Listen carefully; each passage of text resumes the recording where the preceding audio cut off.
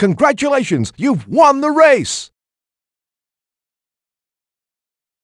You just beat the best time for this track!